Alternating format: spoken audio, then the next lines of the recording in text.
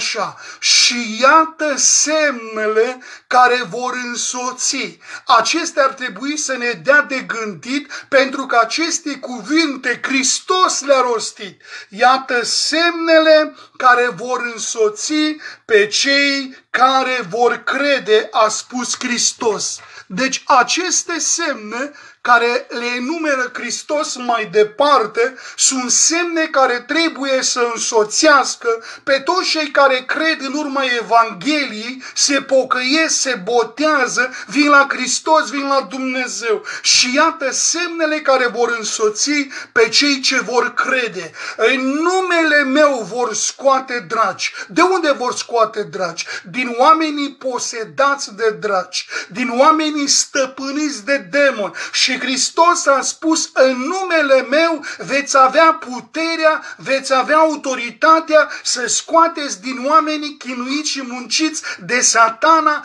duhurile necurate. În numele meu veți scoate dragi veți vorbi în limbi străini, veți lua în mână șerpi. Dacă vorbea ceva de moarte, nu-i va vătăma. Își vor pune mâinile peste bolnavi și bolnavii se vor însănătoși. Acesta este mandatul pe care Hristos l-a dat tuturor celor care cred în El. Din păcate, nu avem încredere în ce a spus El și nu avem curaj să să poruncim duhul necurate să iasă afară din oamenii care îi muncește, care îi chinuiește, care îi posedă, care nu le dă pace și liniște. Vreau să vă mai amintesc câteva cuvinte înainte de a intra în cuvântul lui Dumnezeu pe care vreau să vi-l aduc în această zi, dragii mei, câteva cuvinte vreau să vă mă amintesc. Domnul Iisus Hristos, la fel ca și în Marcul,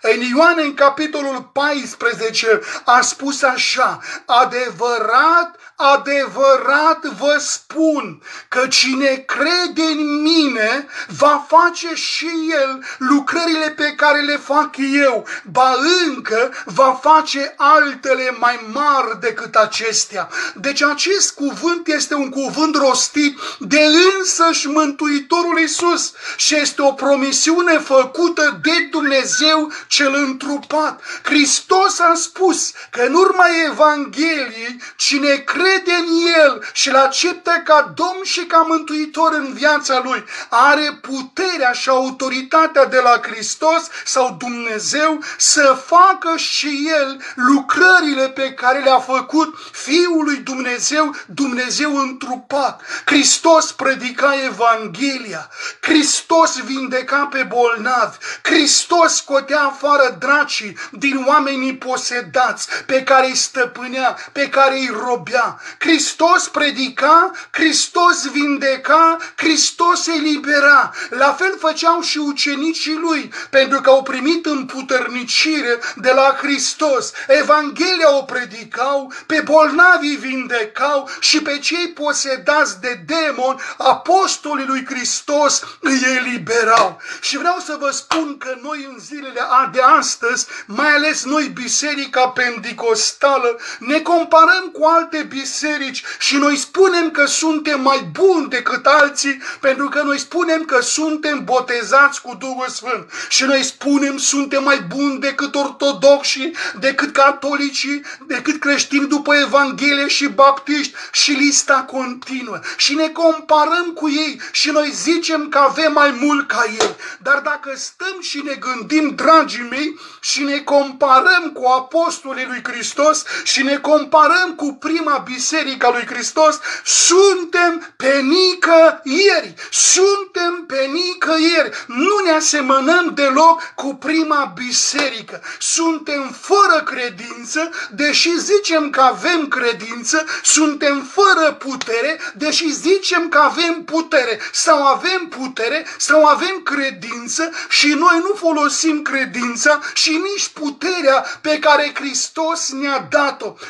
În această zi vreau să vă arăt și patru arme pe care le are credinciosul împotriva lui Satan. Patru arme foarte puternice ale lui Dumnezeu prin care poți să biruiești pe cel rău și poți să vii în ajutorul celor care sunt stăpâniți de diavolul. Dar mai înainte ca să ajung acolo, am să încep cu cuvântul lui Dumnezeu. Mare atenție, dragii mei, să vedem pe unde suntem noi, pe lângă biserica primară, pe lângă primii creștini din primul viac. Iată ce ne spune cuvântul Domnului. În Matei, în capitolul 10, cu versetul 1, Biblia spune, Apoi Iisus, a chemat pe cei 12 ucenici ai săi, pe apostol, și atenție, și le-a dat putere. Le-a dat putere să scoată duhurile necurate și să tămăduiască orice fel de boală și orice fel de neputință. Dragule care mă asculți, și care faci parte dintr-o biserică oarecare, înțelegi mesajul acesta din această zi? Biblia spune Hristos a chemat la el la sine pe cei 12 ucenici, pe cei 12 apostoli și Biblia spune Hristos le-a dat putere să scoată duhurile necurate. De unde să scoată duhurile necurate? Din oamenii chinuiți, din oamenii mun munciți, din oamenii în care intrasă duhuri necurate și le turbura și n-aveau pace și n-aveau liniște. Și vreau să vă spun că erau mulți oameni posedați și din mulți și-au dragi. Cu atât mai mult în zilele noastre din pricina televizorului, a internetului, a revistelor murdare, sunt oameni mult mai posedați ca în zilele din urmă. Dar reține, dragul meu, să vezi deosebirea dintre noi și primii apostoli, primii ucenici al lui Hristos. Repet, apoi Iisus a chemat pe cei 12 ucenici ai săi și le-a dat putere să scoată duhure necurate și să tămăduiască. Ce să tămăduiască? Orice fel de boală orice fel de boală și orice fel de neputință. Deci nu era boală pe care ucenicii să nu poată vindeca, nu era neputință pe care ucenicii să nu poată rezolva sau vindeca. De ce? Pentru că Hristos le-a dat putere. Asta înseamnă că ucenicii lui Hristos au făcut minuni la fel ca însăși Hristos, la fel ca Mântuitorul Mântuitorul. Asta înseamnă că Isus i-a înarmat, i-a binecuvântat, i-a împuternicit și tot iadul a știut că ucenicii lui Hristos au primit împuternicire de la Dumnezeu întrupat care era Isus Hristos din Nazaret. Apoi Marcul în capitolul 3 cu versetul 6, cu versetul 15 spune le-a dat putere să vindece boalele și să scoată dracii. La fel ca în Matei 10 cu 1, în Marcu 3 cu 15, Iisus le-a dat putere ucenicilor săi să vindece boalele și să scoată dracii. Întrebarea se pune, doar în vremea aceea a lucrat Domnul așa? Doar în vremea aceea Hristos a împuternicit pe cei care îl urma? Vreau să vă spun că nu e așa. Hristos i-a împuternicit pe toți care sunt urmașii lui. Așa cum am spus din Marcu capitolul 16, iată semnele care vor însoți pe cei care vor crede. Vedeți, Domnul Iisus n-a zis, iată semnele care vor însoți pe preoți. Nu! Iată semnele care vor însoți pe pastor, pe prezbiter, pe diacon, pe evangeliști. Nu! Hristos n-a zis așa. Hristos a spus, iată semnele care vor însoți pe cei care vor crede. Asta înseamnă că indiferent că ești pastor, prezbiter, diacon sau ce-oi fi tu, apostol, proroc sau un om simplu într-o biserică, dacă crezi din toată inima ta și l accepti pe Iisus Hristos ca Domn și ca Mântuitor, aceste semne trebuie să te însoțească și trebuie să mă însoțească. Hristos a spus, în numele meu vor scoate draci. Cum adică în numele meu? Adică te duci la omul care spune că are o problemă și n-are liniște și n-are o dignă și e frământat și e agitat și e mânios și e nervos și e posedat din pricina masturbării, din pricina certurilor, din pricina dezbinărilor, din pricina pornografiilor, din pricina filmelor de groază. Lista continuă. Și te duci și spui, Duh necurat, care a intrat în acest bărbat sau în femeia aceasta, în numele lui Isus Hristos din Nazaret, îți poruncesc, ieși afară din el sau din ea, chiar acum, în numele lui Isus. Și Hristos a spus, în numele meu veți scoate draci. Toți cei care veți crede și veți pune mâinile peste bolnavi și bolnavii se vor face sănătoși.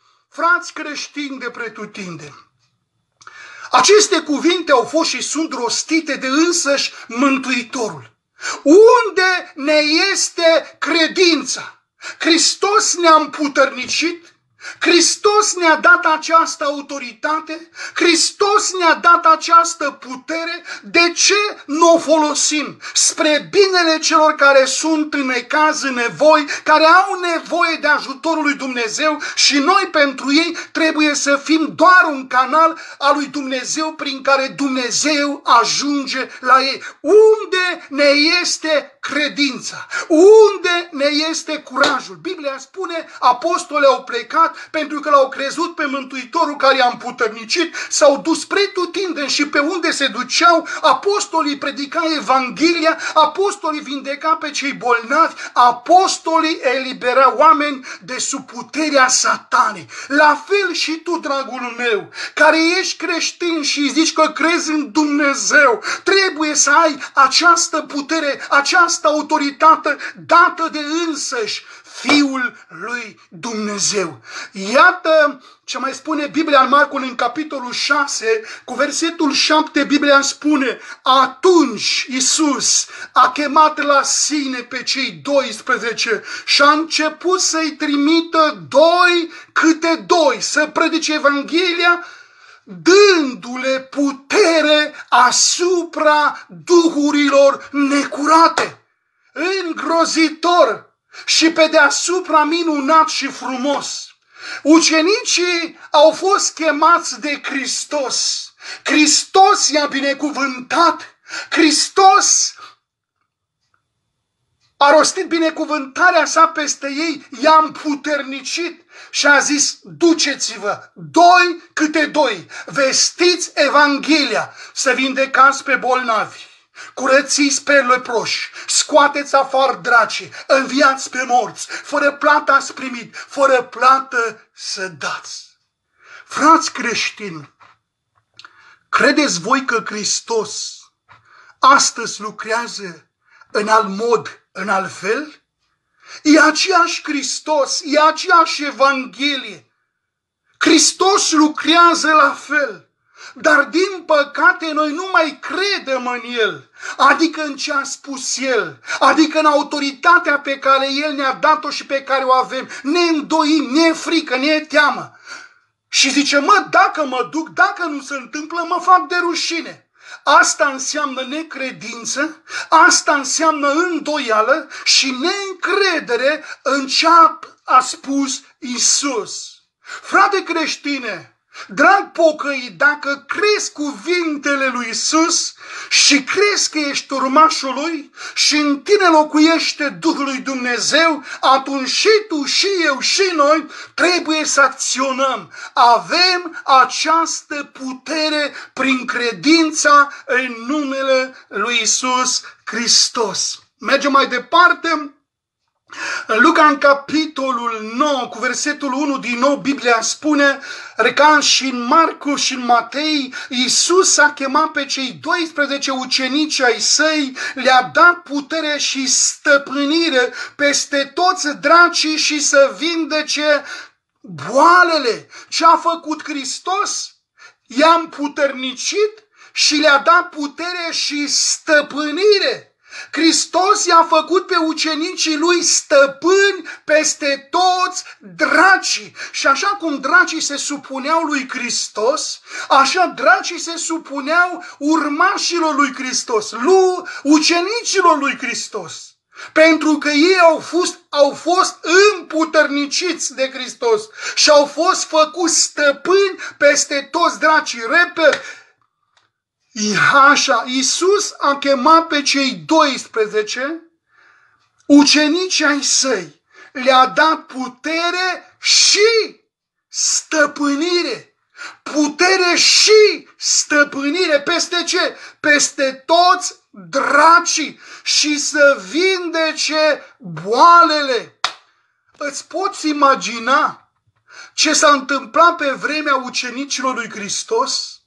Asta înseamnă că ucenicii unde mergeau, Biblia spune despre ei că erau plini de Duhul lui Dumnezeu. Asta înseamnă că pe unde ei mergeau, predicau Evanghelia cu mult foc, cu multă putere, călăuziți de Duhul Sfânt. Aduceau la ei pe ori, pe șchiop, pe ciungi, pe mus, pe surți și pe oameni cu diferite boli. Și toți bolnavii care veneau la ei, toți se vindecau. Aduceau la ei oameni posedați, chinuiți de satan, munciți și oameni neliniștiți. Și toți erau eliberați. Vă dați seama ce atmosferă era acolo. Vă dați seama ce bucurie era acolo. Când oamenii erau salvați prin puterea Domnului pe care a dat-o ucenicilor lui. Dragilor, reține acesta este cuvântul lui Dumnezeu. Și cuvântul lui Dumnezeu trebuie să aducă mintea mea și în inima mea și în inima ta și în mintea ta credință. Că Biblia spune că credința vine în urma auzirii cuvântului lui Dumnezeu. În urma acestor versete, dragul meu și eu și tu, trebuie să primesc credință, să primim credință în ce a spus Isus și să facem la fel ca El și ca ucenicii Lui. Iată ce spune în Luca în capitolul 10 cu versetul 19. Iată că v-am dat putere să călcați peste șărpi și peste scorpii și peste toată puterea vrășmașului și nimic nu vă va putea vătăma. Vă dați seama, toți creștini adevărați sunt protejați și păziți de Hristos și Dumnezeu, Tatăl Său. Hristos a spus, iată că eu v-am dat putere să călcați peste șărpi, peste scorpii și peste toată puterea vrășmașului care este satana și nimic nu vă va putea vătăma. Creștinule care mă asculți, nu te teme de Satan și de demonii lui. Nu te teme de nimic din această lume, din lumea în care trăim, că toată lumea zace în cel rău. Creștine, tu ești păzit de Dumnezeu Tatăl tău.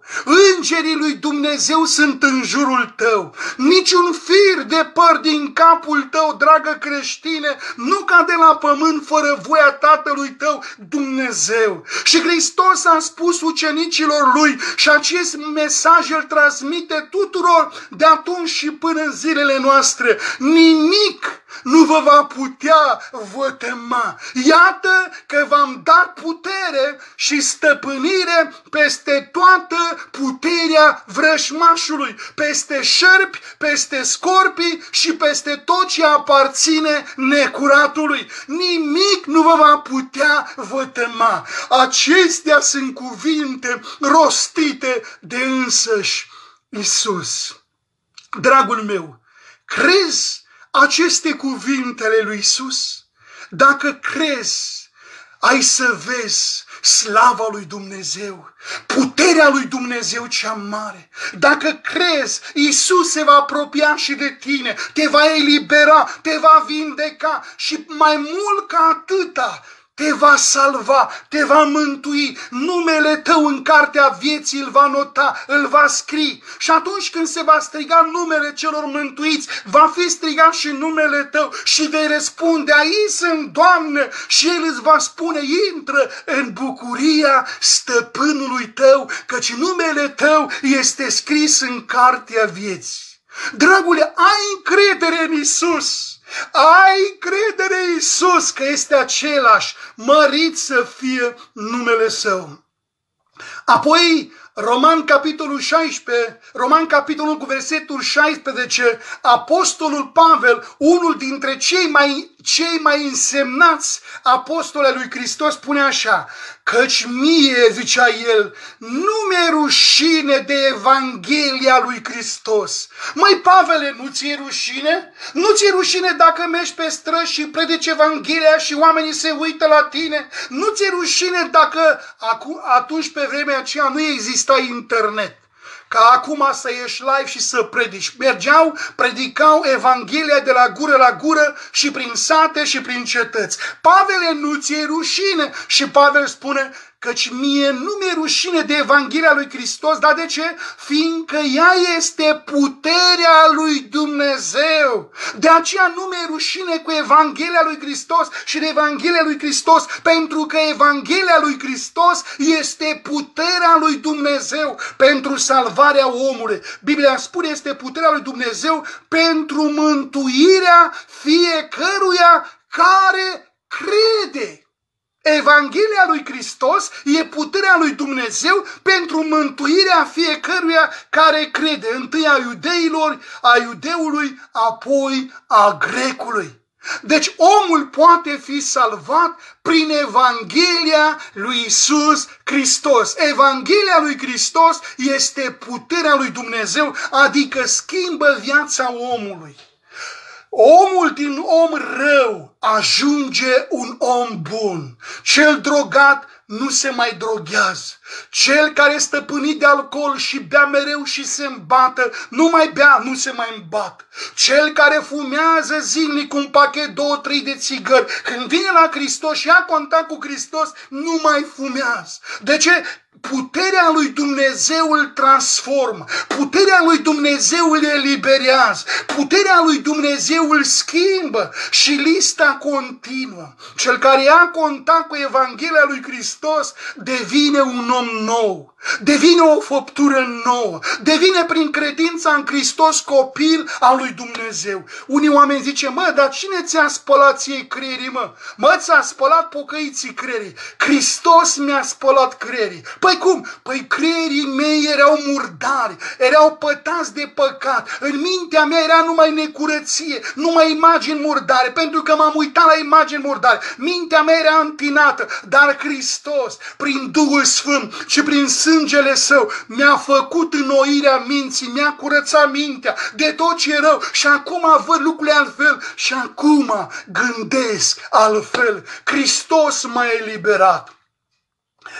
Apoi, iată, dragul meu, ce spune în Faptele Apostolului, capitolul 1, cu versetul 8, și ar trebui creștine să rămână în mintea ta cuvântul acesta și să nu uiți. Hristos a spus ucenicilor săi, înainte ca să se ducă la Tatăl Dumnezeu, despre Duhul Sfânt pe care avea să-l primească toți cei care îl urmează și cred în el. Iată ce spunea Hristos. Ci voi veți primi o putere când se va pogori coborât Duhul Sfânt peste voi. Ce veți primi? O putere. Ce veți primi? O putere. Frate creștine, care mă auză acum și mai târziu, ai primit Duhul Sfânt?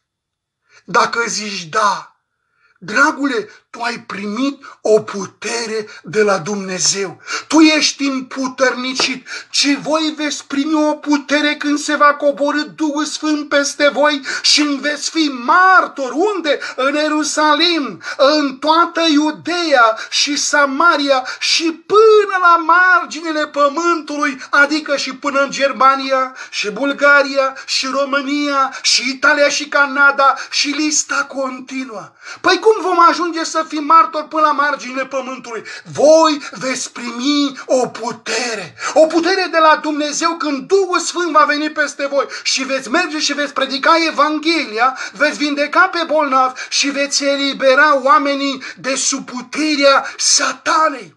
Creștinule, Tu ești în război, dar nu cu carnea și cu sângele.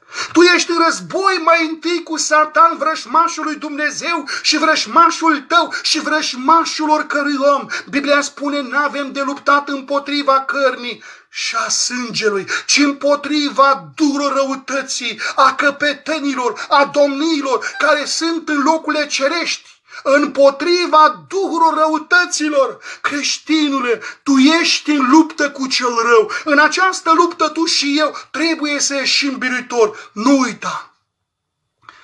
Și voi veți primi o putere când se va pogorâ Duhul Sfânt peste voi și veți fi martori în Ierusalim, în toată Iudeea, Samaria și până la marginile pământului. Ne mai putem compara cu ucenicii lui Hristos? Suntem cam pe nicăieri pe lângă ei. Am primit aceeași putere ca și ei, aceeași autoritate ca și ei. Din păcate nu le folosim. Nu folosim autoritatea și puterea pe care noi am primit-o. Ne e teamă, ne e frică și nu știm cum trebuie să o folosim. Din pricina aceasta suntem atât de slabi și atât de neputincioși în fața lui Satan și în fața oamenilor bolnavi și posedați. Adică nu-i putem ajuta, nu-i putem vindeca, nu ne put, nu-i putem elibera, că ne mică credința.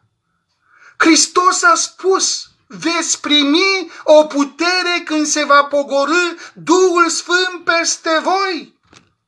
Mergem mai departe. Să vedeți cum s-au rugat ucenicii lui Hristos când au fost amenințați.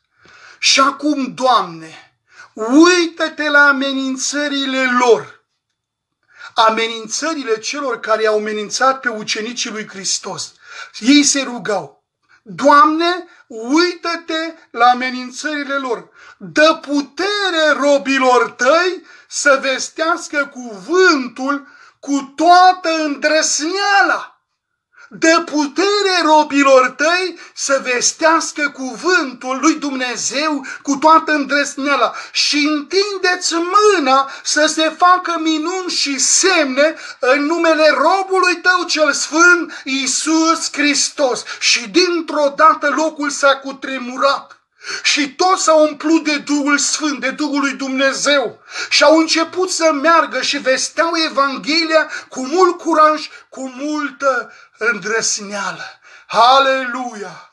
Aleluia, slavă ție Dumnezeu, slavă ție, aleluia, glorie ție Doamne. Atinge-te de cei prezenți acum cu mine, atinge-te de mădularele lor cum te atingi de mine. Lasă ca Duhul tău să fie simțiți de toți cei care sunt în acest live. În numele lui Isus Hristos, Doamne, cere liberare și vindecare pentru sufletele care au nevoie. În numele numele lui Isus Hristos din Nazaret. Mărire lui Hristos. Haleluia! Aceasta era rugăciunea pe care au făcut-o ucenicii săi când au fost amenințați și acum, Doamne, uită-te la amenințările lor, dă putere robilor tăi să vestească cuvântul cu toată îndrăsneala și așa cum am spus, locul s-a cutremurat, s-a umplut de Duhul Sfânt și au plecat și vesteau Evanghelia cu toată îndrăsneala și Biblia spune că un mare har erau peste ei. Domnul lucra împreună cu ei. Apoi în Faptele Apostolilor, capitolul 4, cu versetul 33, atenție, frași creștini, să vedeți ce s-a întâmplat cu Apostolul lui Hristos. Apostolii mărturiseau cu multă putere despre învierea Domnului Isus și un mare har erau peste ei, mărire lui Isus. De ce? De ce predicau și mărturiseau cu multă putere despre învierea lui Isus? Pentru că ei s-au rugat pentru că ei au fost împuterniciți și pentru că ei au fost umpluți cu Duhul Sfânt al lui Dumnezeu. Și apostolii mărturiseau cu multă putere despre învierea Domnului Isus și un mare har erau peste toți, adică prezența lui Dumnezeu îi copleșea pe toți. Puterea lui Dumnezeu era la lucru, slăvit să fie Domnul, slăvit să fie Domnul aceasta să fie și rugăciunea ta, frate creștine, atunci când te duci în odăița ta și închizi ușa după tine, roagă-te Tatălui din cer și spune, Doamne, dă putere robului tău să mărtuisească cuvântul tău și întindeți mâna să se facă minuni și semne în numele Domnului nostru Isus Hristos. Această rugăciune pe care au făcut-o ucenicii înaintea lui Dumnezeu a fost după voia voia lui Dumnezeu. Locul s-a cutremurat. Ei de Duhul Sfânt s-au umplut și Dumnezeu lucra, așa cum am citit, prin apostol cu multă putere. Mergem mai departe, auziți cum spune mai departe în Faptele Apostolilor, capitolul 6 cu versetul 8. Ștefan era plin de har și putere. Cum era Ștefan? Plin de har și putere și făcea minuni și semne mari norod.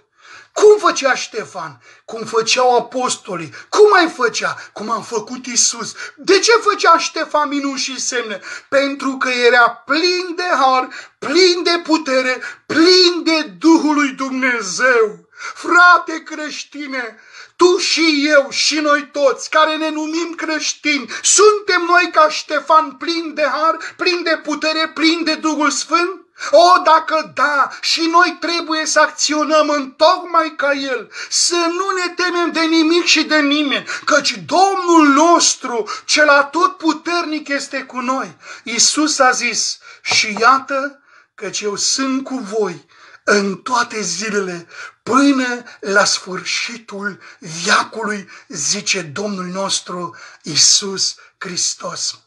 Cel care vrea să intre cu mine așteaptă să gat mesajul. După ce voi găta mesajul de transmis, atunci putem să intrăm, să vorbim, să comunicăm sau să ne rugăm, dar așteaptă un pic că dacă intru, atunci nu pot să aduc tot mesajul întreg pe care vreau să-l aduc, pentru că o să ne abatem de la subiect, pentru că așa am văzut că este și pe alte live-uri. Mergem mai departe. Ștefan, așa cum am zis, era plin de har și de putere și făcea minuni și semne mari în orod. Mergem mai departe, ce spune cuvântul Domnului în 1 Corinteni, capitolul 4, cu versetul 20, căci împărăția lui Dumnezeu nu stă în vorbe, dar în ce stă? Ci în putere. Din păcate la noi stă doar în vorbe avem evangeliști cu renume, avem păstori, predicatori și învățători cu renume, dar din păcate stă doar în vorbe. Și lipsește puterea. Și lipsește autoritatea sau curajul pe care l-au avut ucenicii lui Hristos. Unii zice, mă, dar acum nu se mai întâmplă așa cum s-a întâmplat în urmă cu 2000 de ani. Dumnezeu atunci a avut un plan ca să ajungă Evanghelia pretutine. Acum nu mai mă. Păi mai omule, dacă atunci s-a predicat Evanghelia în urmă cu 2000 de ani, astăzi nu mai trebuie Evanghelia predicată. Ba da, ba da, trebuie. Măi, dar dacă atunci erau bolnavi și aveau nevoie de vindecare, că doctorii nu puteau să-i vindece. Biblia spune despre o femeie cu scurgere de sânge, a mers la doctor timp de 12 ani și doctorii n-au putut să o ajute să o vindece. Dar când s-a atins de Isus, îndată a fost vindecată de scurgerea ei. Atunci oamenii erau vindecați de boalele lor. Astăzi nu mai e nevoie, nu mai sunt bolnavi. Ba da, ba da, mai sunt și n-au nevoie nevoie să fie vindecați de Isus. Ba da, ba da! În vremea aceea erau oameni posedați de demoni. Au intrat demoni în ei, îi chinuiau, îi munceau în diferite forme. Astăzi, nu mai sunt oameni care au duhuri necurate în ei. Ba da, și n-au nevoie și ei să fie ajutat. Ba da, păi atunci de ce spui că a fost doar atunci? Oamenii din zilele noastre, cum vrei să fie ajutați? Evanghelia atunci s-a predicat și astăzi se predică. Bolnavi atunci au fost vindecați și astăzi la fel. Oamenii posedați au fost liberați și astăzi la fel. E același Hristos. E același Dumnezeu. Numai că noi nu mai suntem la fel ca cei de 2000 de ani. Mai sunt, dar mai puțini. Credința noastră, uite atât de mică, mică, mică, mică. Și zicem că suntem creștini. Auziți în Iacob, în capitolul 5, cu versetul 16, cuvântul Domnului ne îndeamnă ce trebuie să facem ca să mai fim vindecați de boalele noastre. Mărturisiți-vă unii altora păcatele și rugați-vă unii pentru alții ca să fiți vindecați. Mare putere are rugăciunea fierbinte a celui neprihănit, a celui sfânt, a celui pocăit, nu a celui nelegiuit, nu a celui păcătos, a celui neprihănit. Ce să facem ca să fim vindecați? Mărturisiți-vă unii altora păcatele. Spuneți păcatele pe care le-ați făcut. Nu te rușina, căci rușinea vine de la cel rău și cu rușinea, cum zice românul, mor de foame și cu rușinea rămâi cu păcatele asupra ta și cu rușinea rămâi în continuare bolnav. Mărturisește-ți păcatele, dragul meu, unul altuia ne spune Biblia și rugați-vă, rugați-vă în urma mărturisiunii unii pentru alții. Dar de ce? Ca să fiți vindecați. De ce să fiu vindecat? De boala pe care o ai. Ai cancer, să fii vindecat. Ai sida, să fii vindecat. Ești lepros, să fii vindecat. Ai diabet, astmă, să fii vindecat. Ești paralizat, să fii vindecat. Fă așa cum te învață Biblia.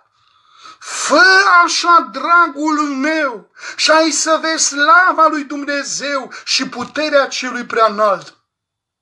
Și auziți acum, Câte deosebire între noi și cei care au fost în urmă cu 2000 de ani. Auziți, Filip, evanghelistul, s-a coborât în cetatea Samariei, s-a dus la samariteni și le-a provăgăduit, l-a predicat pe Hristos. Noroadele luau aminte cu un gând la cele spuse de Filip. Dar de ce? Când au auzit, și-au văzut semnele pe care le făcea. O să-ți luați ea. Alo? God zegne dich. Deci, dragule, Biblia spune, evanghelistul Filip s-a dus la samariteni în Samaria, provăgăduia pe Hristos, provăgăduia Evanghelia, oamenii de acolo luau aminte cu un gând la cele spuse de Filip. Ce spunea Filip? Exact cum spun eu acum, despre Hristos, despre împărăția lui Dumnezeu, despre mântuirea prin credință prin Isus. Și Biblia spune, și oamenii de acolo, când au văzut, zice că luau aminte, când au auzit și au văzut semnele pe care le făcea. Și ce semne făcea Filip? Căci din mulți îndrăciți, oameni posedați, ieșeau duhuri necurate și scoteau mari țipote. Ați auzit?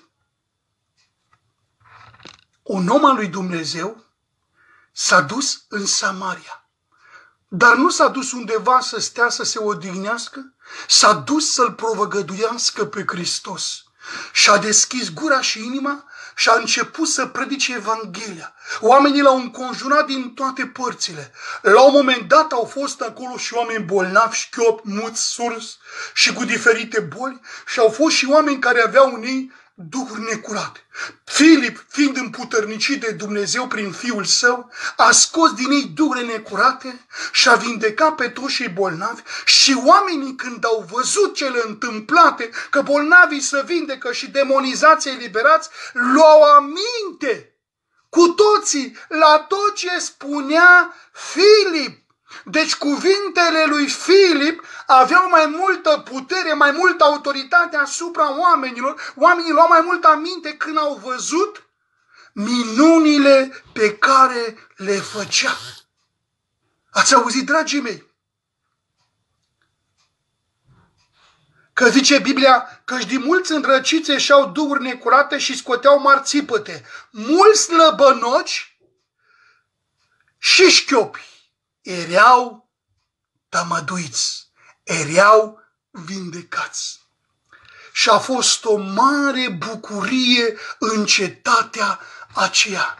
Frați creștini, frați creștini, frați pocăiți, frați evangeliști, când a fost în cetatea voastră ultima dată o asemenea lucrare cum a fost în Samaria?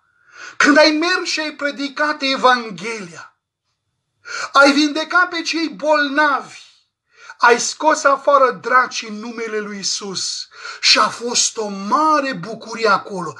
Când a fost ultima dată în locul în care ești? Îți mai amintești?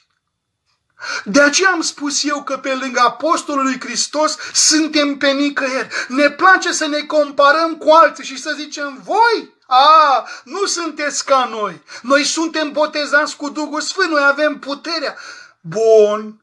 Și când ne comparăm cu ucenicii lui Hristos, suntem pe nicăieri și nu suntem mai buni decât pe cei care noi îi desconsiderăm și zicem că nu sunt ca noi. Suntem în aceeași oală ca ei, adică cuprinși de necredință, cuprinși de îndoială, cuprinși de teamă și de frică, că dacă am fi cu credință și curaj, și noi am proceda la fel. Auziți, biserica se bucura de pace în toată Iudeea. Asta înseamnă că în toată Iudeea era pace pentru biserica lui Hristos a lui Dumnezeu. Se bucura pretutindeni în Iudea de pace în Galileea și în Samaria. Deci în bisericile din Iudea, Samaria și Galileea, biserica se bucura de pace. Erau fericiți. Să întărea sufletește și umbla în frica de Domnul și cu ajutorul Duhului Sfânt se înmulțeau.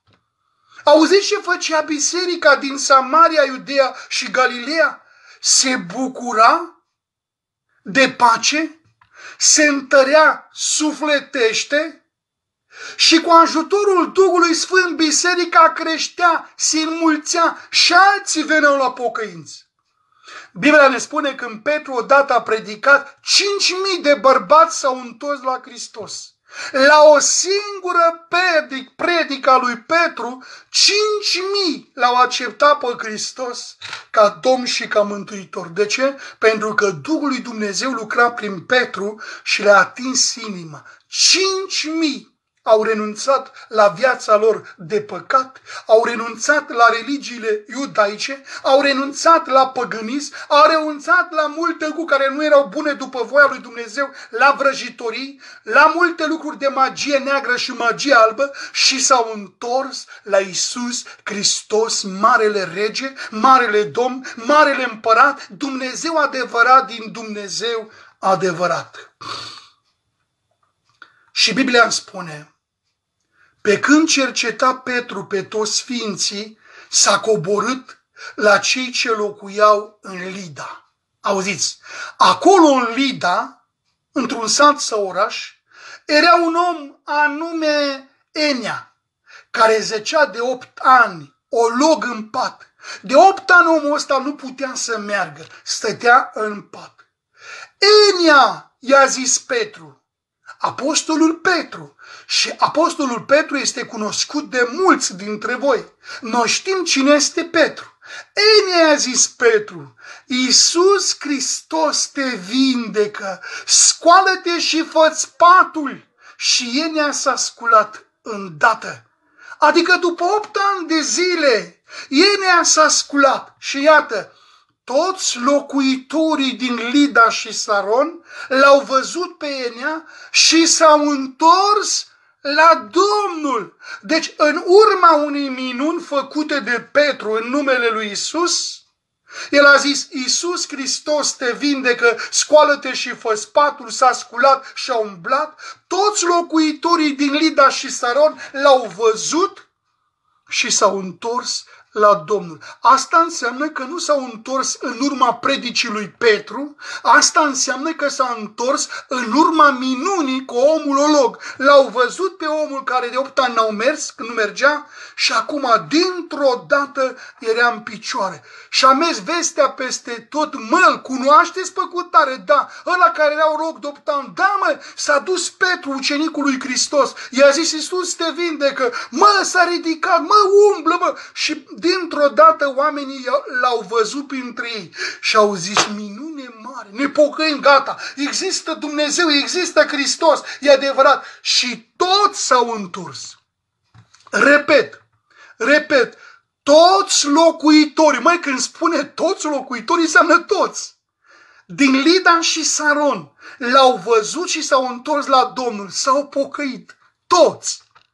Vedeți ce putere are o minune? În primul rând, omul bolnav a fost ajutat, a fost vindecat, n-a mai continuat să stea în pat, a stat destul opt ani. În al doilea rând, prin minunea făcută cu el, alte două cetăți, Lida și Saron, s-au pocăit s-au întors la Dumnezeu. Până atunci umblau pe căile lor, își făceau de capul lor, își trăiau viața cum vreau ei, dar când au văzut minunea lui Dumnezeu, s-au întors la Domnul. Iată că și minunile au rolul lor în predicarea cuvântului lui Dumnezeu.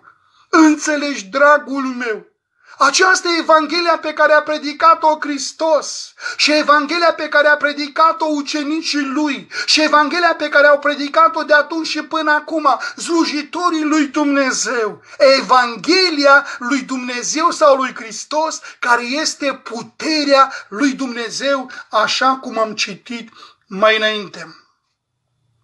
Apoi Ioan i-a zis lui Isus, apostolul Ioan, care a scris cartea Apocalipsa și care la cină și-a pus capul pe pieptul Mântuitorului, apostolul Ioan, care a fost cel mai tânăr dintre ucenicii lui Hristos, i-a zis lui Isus, învățătorule, noi am văzut pe un om scoțând draci în numele tău și l-am oprit pentru că nu venea după noi. Ce putem să înțelegem, să înțelegem de aici? Era un om care nu făcea parte din gruparea ucenicilor lui Hristos, dar avea credință în Hristos.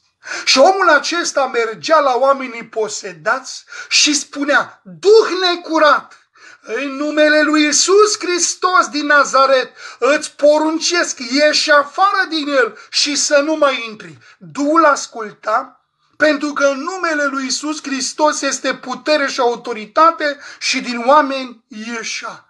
Și Ioan a spus, Doamne, noi am văzut un om că scotea draci în numele Tău și am zis, mă, oprește-te dacă nu vii după noi. Și Hristos îi spune, nu-l opriți. A răspuns Isus, căci nu este nimeni care să facă minuni. Atenție! Care să facă minuni. Atenție! În numele meu cum adică în numele lui Isus se fac minuni? Da! Căci nu este nimeni care să facă minuni în numele meu și să mă poată grăi îndată după aceea de rău. Cine nu este împotriva noastră este pentru noi. Frați creștini, știți voi că în numele lui Isus se fac minuni? Omul acela care nu făcea parte din gruparea ucenicilor lui Hristos era mult mai curajos și mult mai credincios decât noi astăzi care zicem că îl urmăm pe Hristos. Omul acela avea curaj, avea îndrăsneală, nu era frică de demonii care îi stăpânea pe oameni, le poruncea să iese afară. Și noi suntem atât de fricoși și de necredincioși. Zice, mă, dacă îi zic, vine peste mine. Dar cum de nu s-a dus peste omul acela care nu mergea după Isus cum mergeau ucenicii lui? Măi omule, măi omule, Duhul necurat iese afară, nu pentru că tu ai putere, deși ucenicii au avut putere că Hristos le-a dat putere, ci pentru că rostești în numele lui Isus. Numele lui Isus este o armă foarte puternică împotriva lui Satan. Când rostești numele lui Isus, toți demonii o iau la fugă. Ai înțeles? În numele lui Isus, în lumea spirituală, e mare putere. Este ca o bombă atomică. Când zice numele lui Isus, e ca și cum a spus Isus. Pentru că Isus când spunea, dracii din oameni afară ieșea. Și când tu spui numele lui Isus, la fel ți se supune și ție, pentru că te-ai folosit de numele lui Isus.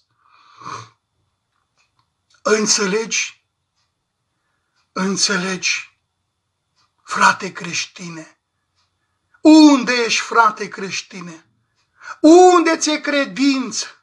Unde ți-e puterea pe care Hristos s-a dat-o când a zis și voi veți primi o putere când se va pogorâ Duhul Sfânt peste voi și veți fi martor în Iudea, în Samaria și în Galileea și până la marginile pământului. Unde ți-e credința și puterea pe care ai primit-o de la Hristos, Fiul lui Dumnezeu, frate creștine?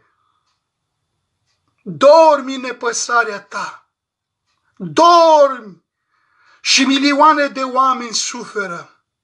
Și milioane și miliarde sunt bolnavi. Și milioane și sute de mii de oameni sunt demonizați. Și milioane și miliarde de oameni se duc pe calea perzării, pe drumul morții, pe calea care duce în iad. Și tu și eu și noi creștinilor dormim de-a binelea și stăm în nepăsare și ne place confortul în care suntem și oamenii se duc cu miile și cu milioanele în iad. Ieșiți și predicați Evanghelia cum a făcut și Filip Evanghelistul în Samaria. Predicați-l pe Hristos și faceți în tocmai cum Hristos ne-a poruncit. Hristos a spus celor 12, vindecați pe bolnavi, curățiți pe leproși, scoateți afară draci și înviați pe morți. Fără plată ați primit, fără plată să dați. Cum, Doamne, noi? Noi să-i vindecăm pe bolnavi? Voi. Noi să-i curățim pe leproși? Voi. Voi? Noi? Voi. Noi să înviem morții? Da, voi. Păi cum? V-am dat putere. Mergeți! Domnul Isus a mai rânduit încă 70 de ucenici pe lângă cei 12 pe care i-a ales. I-a trimis doi câte doi și a trimis să vestească Evanghelia pe unde avea să treacă el. Și auziți ce le-a spus Hristos. Duceți-vă și să vindecați pe bolnavii care vor fi acolo. Unde acolo? Unde voi veți merge să predicați Evanghelia. Cei 70 s-au dus împuterniciți de Isus și Biblia ne spune că s-au întors plini de bucurie și au început să-i spună Domnului, Doamne, chiar și dracii ne sunt supuși în numele Tău. Ucenicii se bucurau. Și Domnul Isus a zis, am văzut pe Satan căzând ca un fulger din cer. Iată că v-am dat putere peste toată puterea vrășmașului și nimic nu vă va putea vătăma. Totuși să nu vă bucurați de faptul că duhurile vă sunt supuse, ci bucurați-vă că numele voastre sunt scrise în ceruri. Dar în clipa aceea Fiul s-a bucurat și a zis, te laud, Doamne, Tată al celui și al pământului, că ai ascuns aceste lucruri de cei înțeleși și pricepuți și le-ai descoperit pruncilor. Da, Tată, pentru că așa ai găsit cu cale Tu. Înțelegi? Evanghelia lui Hristos este puterea lui Dumnezeu. Înțelegi? Are putere să te transforme dintr-un om rău într-un om bun. Înainte să vin la Hristos, eram un mare păcătos. Făceam karate, făceam lupte, mai furam, de fumat nu fumam, de băut nu prea, cât un pic, cât un pic, dar făceam altele. Dar de când am venit la Hristos, Hristos m-a schimbat. Și, de un fi, și dintr-un fiu al diavolului, din pricina păcatului, am devenit un fiu sau un copil al lui Dumnezeu. Dumnezeu prin Fiul Său m-a răscumpărat și mi-a dat dreptul să mă numesc copilul lui Dumnezeu prin credința în Fiul Său și am devenit un cetățean al cerului. Și dacă mor, eu mă duc la Tatăl meu, Dumnezeu, în locul pregătit de Fiul Său, Iisus Hristos din Nazaret. Auziți, faptele apostolilor, capitolul 43, fiecare era plin de frică și prin apostol se făceau multe minuni și semne. Auziți, dragilor, creștini și necreștini, prin apostol se făceau multe minuni și semne. Exact cum se făcea prin Domnul lor Isus Hristos. S-a schimbat Isus? Nu mai are el milă de cei bolnavi cum a avut atunci? Nu mai are el milă de cei apăsați de diavolul cum a avut atunci? O, nu, e același. E același. Puterea lui este aceeași. Evanghelia lui este același. Mesajul lui de salvare pentru omenire este aceeași. Noi ne-am schimbat. Noi. Când stau și mă gândesc la ce scrie aici, fiecare era plin de frică și prin apostol se făceau multe minuni și semne. Multe minuni și semne. Ce minunat!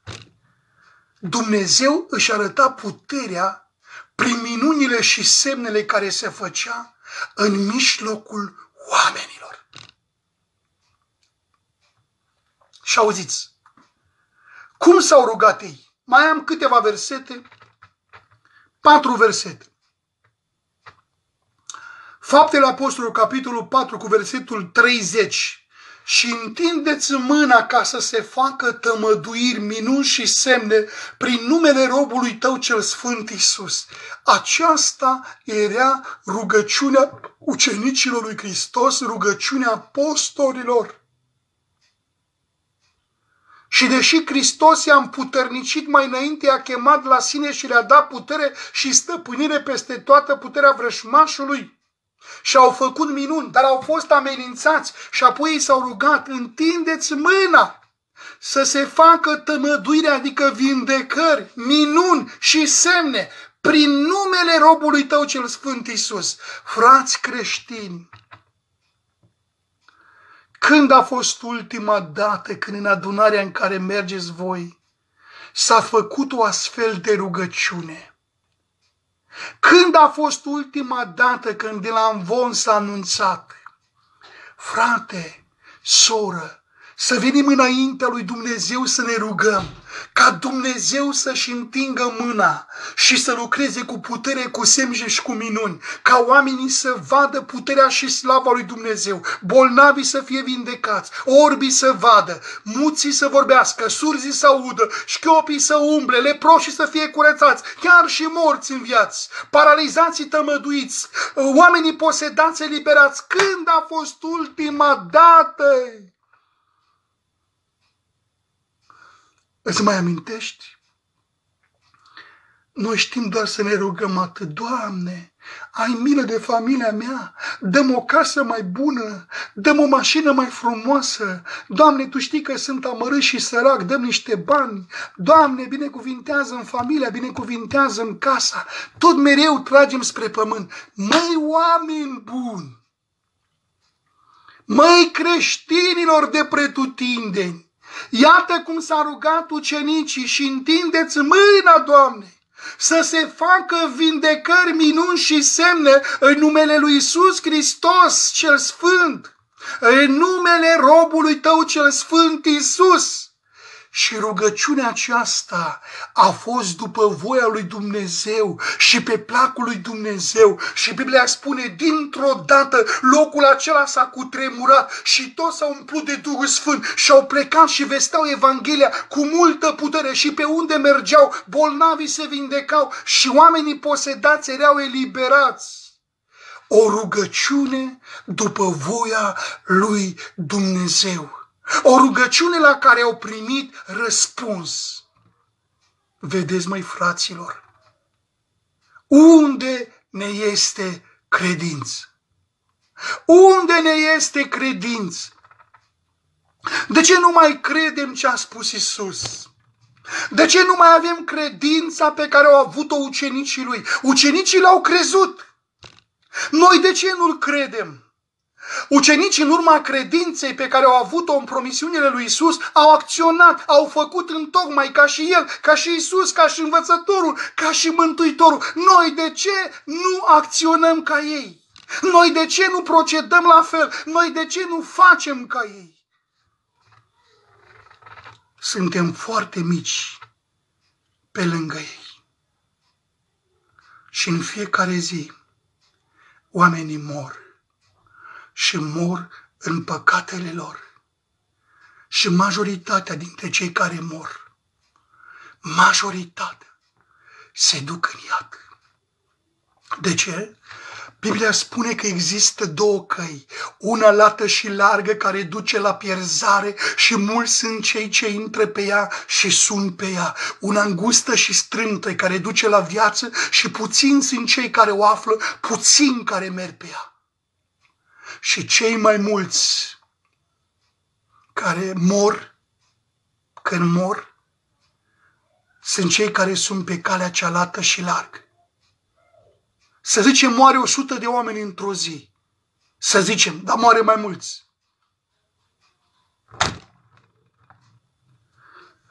Doi sau trei, patru, cinci, zece, se duc la Domnul dar restul până la sută se duc în locuința morților, în iad. De ce? Pentru că ei s-au aflat pe calea cealaltă și largă. Au trăit în păcat și au vrut să-și facă de cap. Au zis tot mereu, o viață am să mi-o trăiesc, să mă distrez. Și s-a distrat. A băut, s-a îmbătat, a mers la prostituate, la destrăbălate, a curvit, a prea curvit și multe alte păcate a săvârșit, dar viața lui s-a sfârșit și acum a mers în iad. Ce folos! Ce folos că pe pământ să te faci de rușine peste tot, să cazi ca un porc pe jos. Dar dacă mor fără Hristos, ce folos! Poți să fumezi un pachet, două, trei pe zi, să baci cancer în corpul tău și asmă și alte boli. Și să te simți bine, că zici că te satisface și te ușurează. Ce folos dacă mor fără Hristos? Zici să-mi trăiesc viața, să mă simt bine și te duci la aventuri și te duci ca băiat sau bărbat și cauți femei zeci, sute și te culci cu ele și te destrăbălezi. Dar ce folos dacă mor fără Hristos și te duci într-un loc de chin? Pentru vecii vecilor. De aceea, frați creștini, ieșiți și predicați Evanghelia lui Isus Hristos, ca pe oameni să-i salvați din întunericul în care ei se află. Mai am două versete. Faptele Apostolilor, capitolul 19, cu versetul 11, și Dumnezeu făcea minuni nemai pomenite prin mâinile lui Pavel. Cine era Pavel? La început un prigonitor. Un om care prigonea biserica lui Hristos a primit împuternicire de la Ierusalim să se ducă la cum se numea acolo, stai așa, samariten, nu, mă știu exact, poate îmi vine la Damasc, să se ducă la Damasc, să-i aducă pe creștinii de acolo la Ierusalim, să-i lege, să-i bată și să-i omoare. Dar pe drum, pe când Pavel, care se numea Saul înainte, mergea cu oastea care le însoțea, să arăta Hristos. o lumină din cer a stălucit și a zis, Saule, Saule, pentru ce mă prigonești? Cine ești tu, Doamne? Eu sunt Isus pe care tu îl prigonești. În sfârșit, Domnul și Saul a zis, ce vrei să fac? Du-te în Damasc și acolo ți se va spune ce trebuie să faci. Și s-a dus în Damasc. Și Domnul a trimis pe Anania la el. Anania și-a pus mâinile peste el, s-a umplut de Duhul Sfânt Saul și a primit vederea și a devenit dintr-un prigonitor al Bisericii lui Hristos, un apostol al lui Hristos, un om plin de Duhul lui Dumnezeu și a început să mărturisească că Isus Hristos este Fiul lui Dumnezeu. Și auziți, prin omul acesta acum Dumnezeu făcea minuni nemaipomenite prin mâinile lui Pavel. Prin mâinile lui Pavel care s-a pocăit și a venit la credința în Hristos. Dumnezeu făcea mari minuni prin el. Își punea mâinile peste bolnavi și bolnavii se vindecau indiferent de ce boală aveau. Poruncea dule necurate să iese afară din oameni și dule necurate îl ascultau și din oameni ieșau. Dumnezeu făcea minuni nemaipomenite prin mâinile lui Pavel. Și ultimul verset pe care vreau să-l citesc, iată ce spune aici. Evrei, capitolul 2, cu versetul 4, spune așa. În timp ce Dumnezeu întărea mărturia lor, cu semne, puteri și felurite minuni și cu darurile Duhului Sfânt, împărțite după voia sa. Ce făcea Dumnezeu? Întărea mărturia ucenicilor lui cu semne, puteri și felurite minuni. Dumnezeu, cu alte cuvinte, lucra împreună cu ucenicii lui Hristos. Dumnezeu însoțea Evanghelia pe care apostolii o predicau. Și Dumnezeu făcea semne și felurite minuni și dătea darurile Duhului Sfânt, împărțea după voia sa.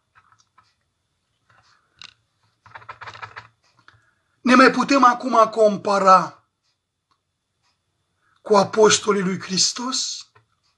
Sau cu prima biserică de la început? O, nu! O, nu!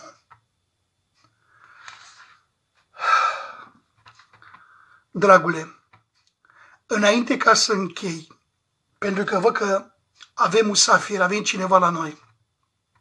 De fapt, de ieri a anunțat că vine și va trebui să închei. Dragul meu, înainte ca să închei, vreau să mă rog pentru tine, dragul meu, deși nu te văd, nu te cunosc, nu te știu cine ești, dar te vede Hristos și Dumnezeu Tatăl Său, știe cine ești, știe ce ai în corpul tău, știe de ce ești dependent de boala pe care o ai în trupul tău. Vrei să mă rog pentru tine? Eu nu te aud. Dacă vrei cu adevărat, spune da, tu cel care vrei, sunteți mai mulți. Dar tu cel care vrei să se atingă Hristos de tine și vrei să fie eliberat de viciul țigărilor de fumat și vrei să fie eliberat de alcool și vrei să fie eliberat de boala din corpul tău Spune da cu glas tare înaintea lui Dumnezeu. Oricum nu te aud eu, dar te aude Tatăl Ceresc. Spune da, eu vreau eliberare pentru asta. Dumnezeu te aude. Eu vreau vindecare pentru asta. Dumnezeu te aude. Vrei să fii eliberat de masturbare și de pornografie?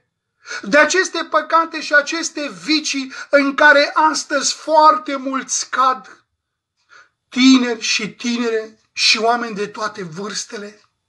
Vrei să fie liberat de acest demon care te face mereu să te uiți la porcăriile acestei lumi?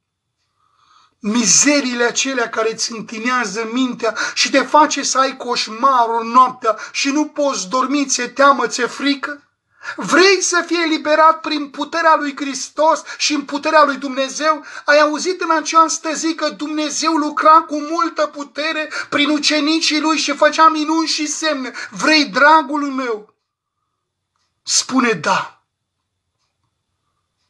În cămăruța ta sau în locul în care ești și crede.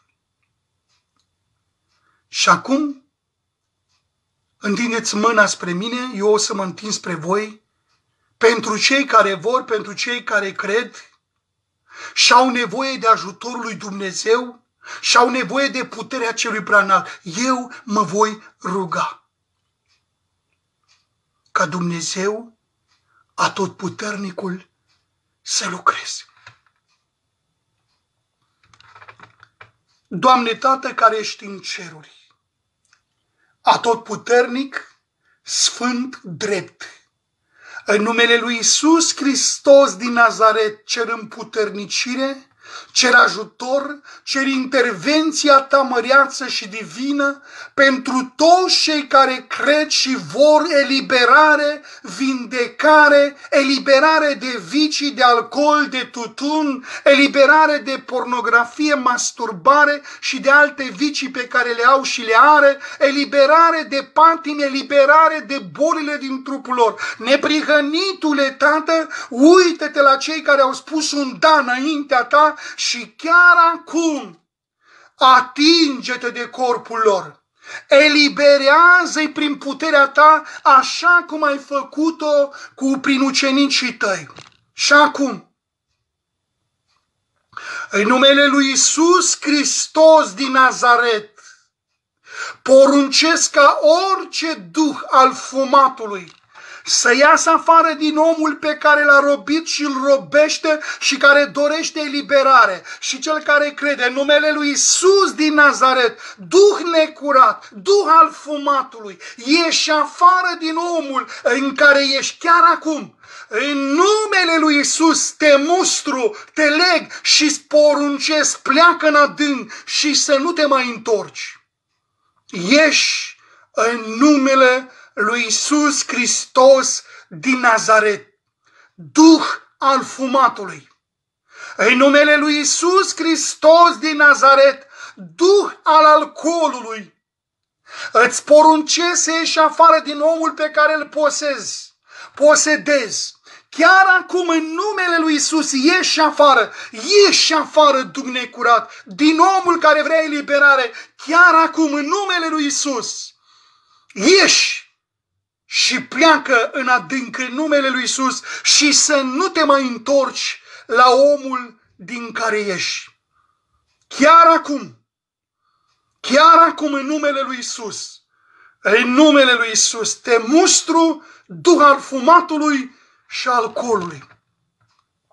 În numele lui Isus Hristos din Nazaret, duh al pornografiei și al masturbării, vă poruncesc, ieșiți afară din cei care vor să fie eliberați. Chiar acum, în numele lui Isus, părăsiți Părăsiți trupurile lor chiar acum. Ieși afară duc de masturbare și pornografie și de curvie și prea curvie chiar acum. În numele lui Isus. În numele lui Isus. Neprihănitule, Tată, îți mulțumesc că faci mai mult decât pot să-și cer eu în slabele mele cuvinte.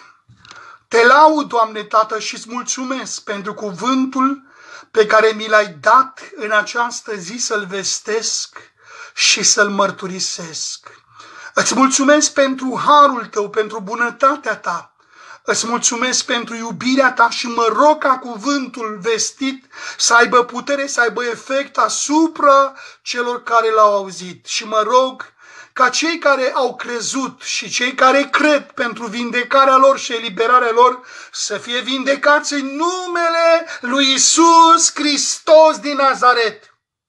Doamne, îi declar vindecați, eliberați pe toți cei care au vrut și au crezut și au zis un da înaintea ta. Îți mulțumesc și încredințez în mâinile tale.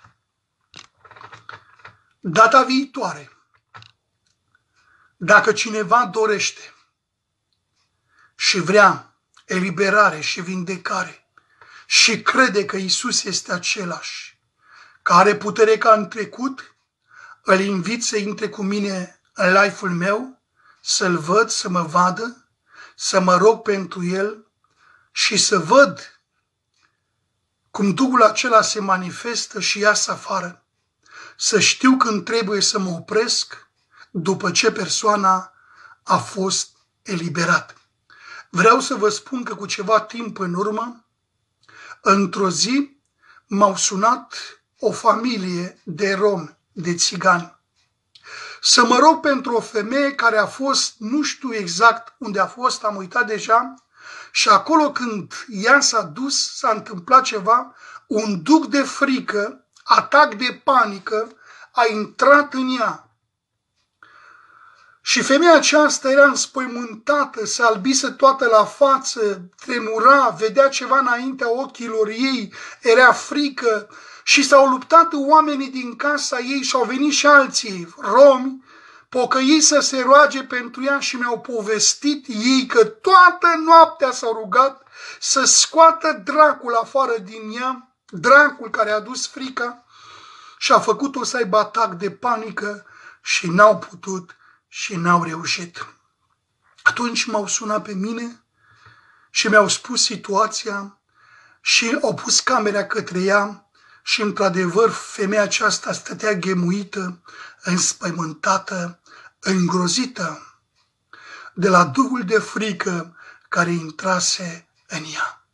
Am întrebat-o dacă crede că Isus Hristos o poate vindeca, o poate libera, o poate ajuta. Și a făcut din cap. Am întrebat-o dacă vrea să mă rog pentru ea. Și cei care erau în casă m-au rugat, frate, roagă-te, ajută-ne. Toată noaptea ne-am rugat și n-am putut, ajută-ne, te rog.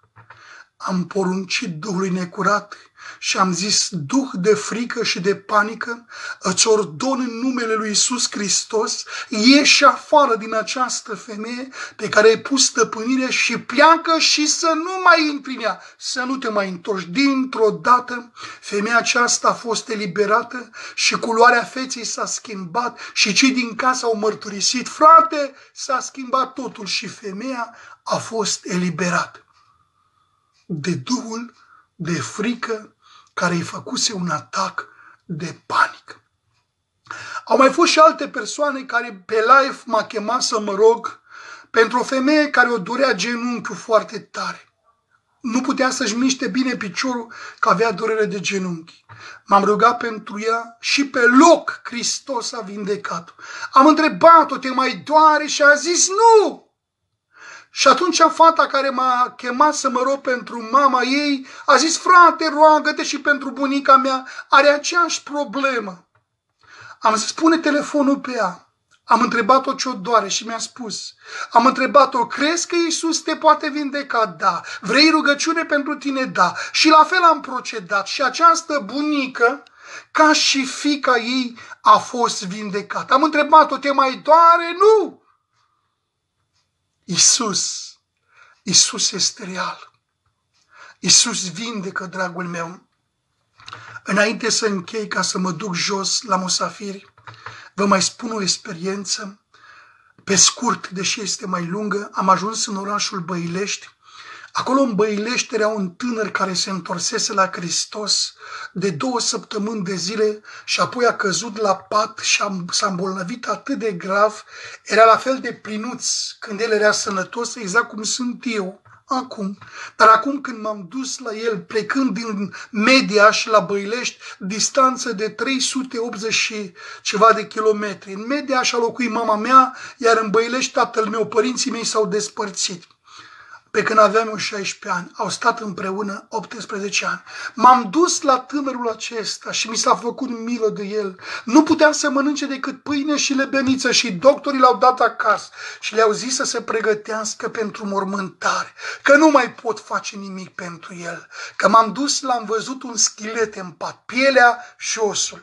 L-am întrebat dacă crede că Isus Hristos îl poate vindeca chiar acum și a făcut cu capul da, că cu gura nu prea mai avea putere să vorbească. Mi-am pus mâinile peste el, m-am rugat și dintr-o dată acest tânăr, pentru că m-am rugat în numele lui Isus, a dat afară un venin verde, s-a ridicat în picioare, el care nu se mai putea ridica din pat, a mers afară și a vomitat veninul care îl avea în corpul lui, o travă aceea de moarte. Apoi a cerut ceva de mâncare, i s-a dat și tânărul acesta a prins putere și au trecut atât atâția ani de atunci. Pe când eram în România, sunt de vreo 26 de ani în Germania și s-a întâmplat în urmă cu vreo 30 de ani aproximativ. Și tânărul acesta acum este un bărbat și are soție și are familie și trăiește. De 30 de ani el în viață a fost între viață și moarte, cu un picior pe pământ și unul în groap, pielea și osul. Dar Dumnezeu i-a dat viață. De aceea, data viitoare când mă voi ruga, vreau să mă rog pentru persoanele care le văd. Dacă este cineva care a fost eliberat, poate să scrie, dacă nu este teamă, să dea un mesaj. Sau a fost vindecat de ceva. Poate să fie. Da, am zis că trebuie să închei să nu fac musafirii să stea așa mult? Îți dai seama cum să simte eu să stau live? Și ei sunt acolo jos. Vă doresc o zi bună la toți, Dumnezeu să vă binecuvinteze și nu uitați mesajul din această zi. Toți creștinii care l-au acceptat pe Iisus Hristos ca Domn și ca Mântuitor și sunt botezați cu Duhul Sfânt, au aceeași putere și autoritate pe care au avut-o ucenicii lui Isus Hristos. Trebuie doar să crezi. Da, și am vrut să vă mai spun ceva, iată că am uitat, să vă spun pe scurt, repede, pe scurt, patru arme pe care le avem noi împotriva lui Satan, care sunt foarte puternice. Credința. Biblia spune, împotriviți-vă lui tare în credință, adică diavolului, și va fugi de la voi. Creștinule trebuie să ai credință. Credință în Dumnezeu, credință în Fiul Său, să nu te tem de cel rău și să te împotrivești tare în credință și Biblia spune că atunci când eu și tu și noi ne împotrivim diavolului care ne dă târcoale ca un leu tare în credință, el va fugi de la noi. 2. Postul.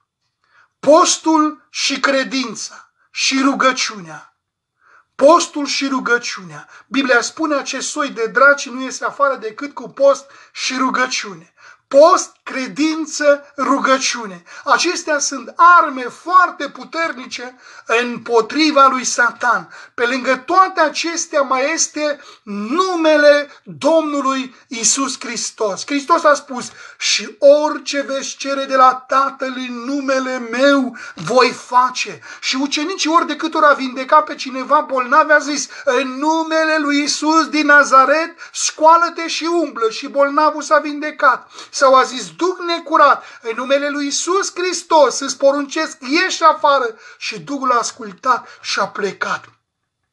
Pe lângă toate aceste arme mai este sângele Domnului nostru Isus Hristos, sângele lui Isus. Și Biblia spune că în cartea Apocalipsa că credincioșii l-au biruit prin mărturisirea gurilor și prin sângele mielului, prin sângele lui Isus. Dragule, dacă ești atacat cumva de demon, de duhuri necurate noaptea, spune sângele lui Isus, sângele lui Isus, dacă ți-a închis gura, spune în mintea ta și toate duhurile vor fugea, fugi. Sau zi, în numele lui Isus îți poruncesc, diavolul pleacă și va pleca. Reține armele pe care trebuie să le aibă creștinul care sunt arme foarte puternice în lumea spirituală, cu care trebuie să ne împotrivim inamicului. 1. Credința. 2. Postul. 3. Rugăciunea. 4. Numele lui Isus. Și 5. Sângele lui Isus. Și armătura lui Dumnezeu. Care e armătura lui Dumnezeu? Coiful mântuirii, sabia Duhului Sfânt, cuvântul lui Dumnezeu, încinși cu adevărul, încălțați cu râvna Evangheliei, platoșa neprihănirii. Cu toate acestea vom putea să stingem toate săgețile celui rău care le aruncă înspre noi. Creștinilor, noi suntem în luptă, nu cu rușii, nici cu ucrainienii, cu cineva care este mai puternic decât ei, cu necuratul diavolul și oștirea lor și oștirea lui. Și noi avem de luptat în fiecare zi împotriva lor. Cei din lume, cei care nu cunosc pe Hristos, ei nu luptă, pentru că ei deja sunt prizonieri și majoritatea dintre ei sunt morți în păcatele lor. Un om mort nu poate să lupte, numai unul viu și cel care este prizonier în tabăra vrășmașului, la fel nu poate să lupte. La el, are, la el toate cum vine merge. Îi vine să fumează, fumează, nu să luptă. Îi vine să bea, bea, îi vine să curvea, să curvește și lista continue. Dar adevăratul slujitor al lui Dumnezeu luptă și nu se dă bătut. Luptă împotriva poftelor, împotriva poftelor carnale, împotriva lui Satan și a oștirii lui și chiar împotriva lumii. Mă refer la păcatele din lume dar nu cu sabia din lume, nu cu bombe și rachete, ci cu credința și cu armele pe care vi le-am enumerat. Repet, credință, post, rugăciune, numele lui Isus și sângele lui Isus, exact cât cinci degete la o mână. Acestea sunt arme foarte puternice în lumea spirituală folosește-te de ele. Hristos a spus, celui ce va birui îi voi da să șadă cu mine pe scaunul meu de domnie, după cum și eu am biruit și am șezut cu tatăl meu pe scaunul lui de domnie. Celui care va birui lupta pe care o are de dat, îi voi da să mănânce din pomul vieții, care este în raiul lui Dumnezeu. Dar această promisiune este făcută de Fiul lui Dumnezeu doar celor care vor birui, doar celor care nu vor muri în lupta pe care o au de dat, doar celor care sunt biruitori. De acea luptă ca și David de altă dată. Fii credincios lui Dumnezeu. David pe unde se ducea, pe toți vrășmașii lui Israel îi omora. Niciodată David n-a căzut străpuns de sabia vrășmașului. De ce? Domnul era cu David, Domnul o crotea, Domnul era cu David și, Do- uh, și David cu Domnul. Domnul cu David și Domnul cu David și David cu Domnul. Așa că erau nedespărțiți și David câștiga războaiele pe care le avea de dat cu amaleciții, cu filistenii și așa mai departe. La fel și noi avem de luptat în lumea spirituală. E mare război. Gata, vă las. Domnul să vă binecuvinteze, trebuie să mă duc jos la musafiri. Hai să închei cu Facebook-ul acum, de data aceasta. Fiți binecuvântați, Dumnezeu să vă binecuvinteze. Mesajul acesta rămâne mai departe pe Facebook dacă vreți, reascultați-l, dacă vă pare bun și de folos și credeți că poate ajuta și pe alții, dați-l mai departe, Dumnezeu să fie slăvit, proslăvit. Deci îl veți găsi pe Facebook. Fiți binecuvântați în numele lui Isus Hristos. Amin. La fel și voi fiți binecuvântați în numele lui Isus Hristos. Amin.